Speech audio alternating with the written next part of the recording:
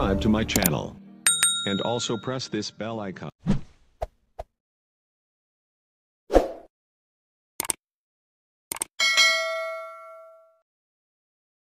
Tunashukuru tumeendeleza pale pale ambapo tuliishia katika mechi ya kwanza kwa maana ya kupata ushindi. Mchezo wa leo eh, dhidi ya Uh, tunamshukuru Mwenyezi Mungu na kuwapongeza vijana wetu na benchi la ufundi kwa kazi kubwa ambayo ukiangalia timu yetu eh, kwa maana ya kiwango, unaona kuna improvement kubwa, sio tu kwa idadi ya magoli kutoka magoli matatu lakini kwa aina ya uchezaji ambao umeonekana kuwa na improvement kubwa sana kwa wachezaji. Makosa mengi yameendelea kuepukika na nafasi nyingi ambazo zinatengenezwa zimekuwa zime- zime- zimetumika ipasavyo hii leo. Kwa sisi kama Simba tunao faraja kubwa na furaha kuona kwamba project yetu inaanza kushika kasi hivi sasa, wachezaji wanaanza kuelewana hivi sasa, timu inaanza kukubali hivi sasa. Bado ni mapema, lakini tuna kila sababu ya kujipongeza kwa sababu tunaona tuna mtiririko chanya wa mafanikio. Kwako wewe binafsi umefurahishwa sana na performance ya leo ya mnyama? Ya, nimefurahishwa na performance ya mnyama, imekuwa fantastic kwa maana ya overall. Eh, kila mchezaji ame yake ipasavyo, lakini nimefurahishwa na kiwango cha mchezaji mmoja mmoja. Kwanza tukianza na bwana mdogo Hamza Yeah. ameendelea ubora wake ule ule.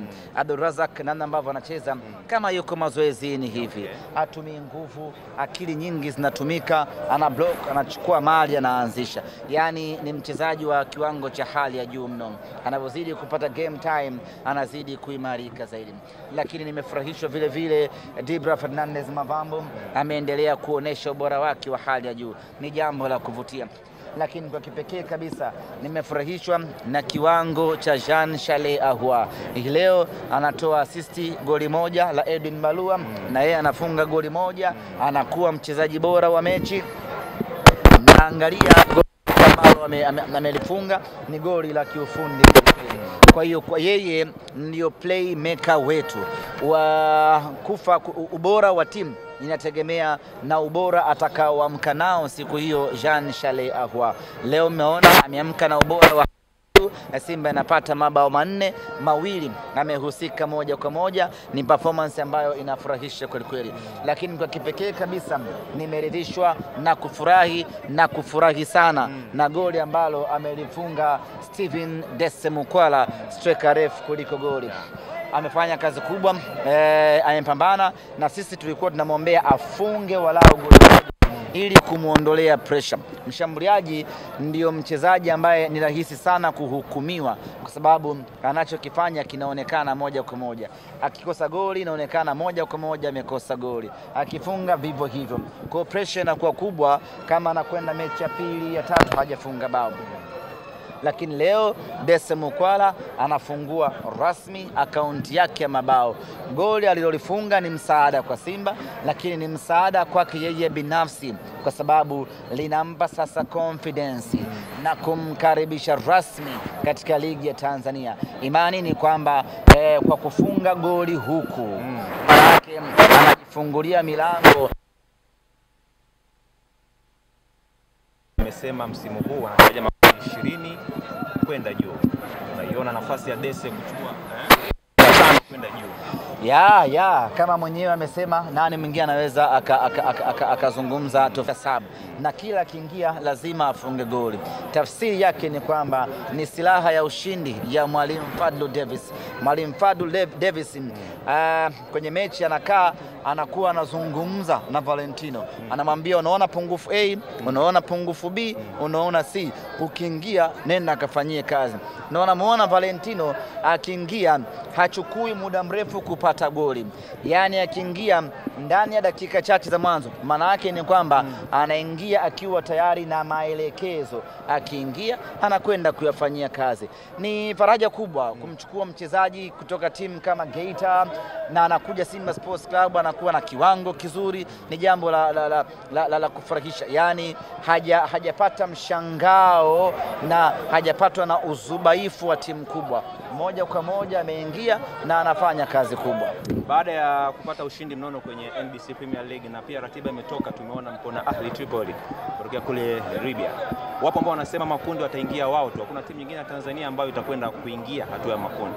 Ahli Tripoli inaweza kuwazuia sana.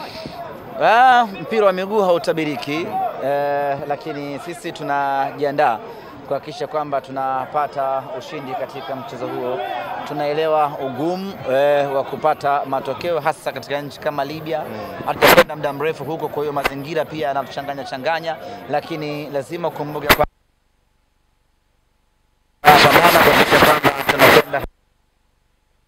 halina mashaka.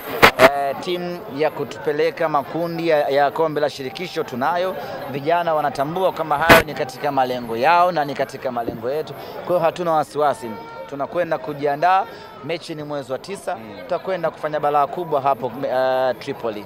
Wawakilishi kutokea Tanzania kwenye mashindano hayo ni Simba Sports Club pekee. Ni sahihi kusema kwamba mabingwa ama wenye kashughuli zao wanarejea mzigoni? Sijakuelewa. E, nyie mebaki wenyewe ndio wawakilishi kwenye michuano hii. Ni sahihi sisi kusema kwamba wenye michuano yao wanarejea, kwa maana tutaona performance ambayo itairidhisha nchi, kwa sababu mebaki wenyewe. Cost ikatolewa. Tolewa. Mebaki wenyewe semaji. Eh? Kwani umefurahi? Ah, Eh? Kosti ikatolewa na yeye. Katolewa kaka. Ah, Hili limekufurahisha? vibaya mno. Ah, kaka. Nisiwe mnafiki. Eh? Costa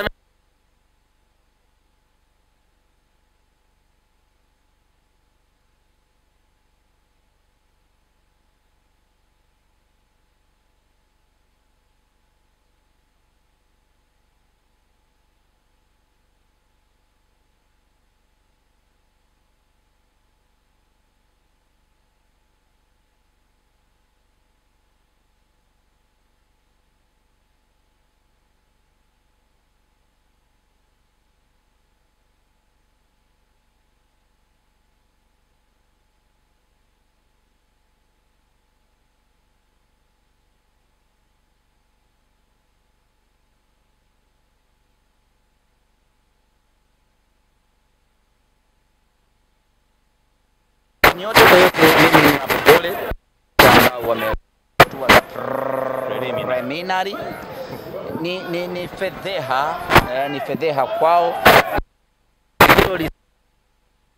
Eh, sana sana hapa ningependa na Azam FC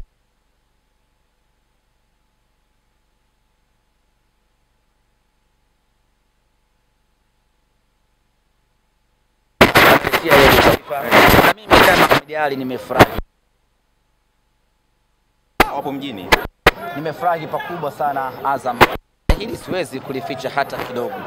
Furaha yangu haina, haina kifani kusema kweli, sababu eh, wao walidhani ni rahisi Kwenda ligi ya mabingwa. na walidhani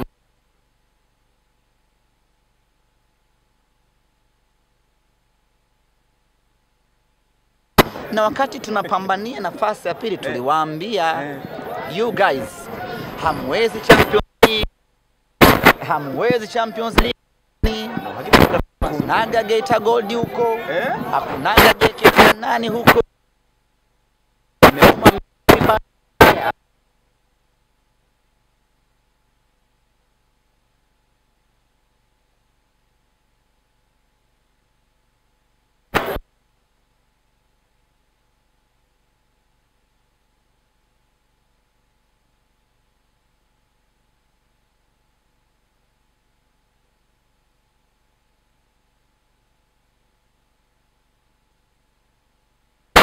wakati tu nane au miaka kumi aliyokuwa nayo Azam na sisi tulikuwa tunafungwa.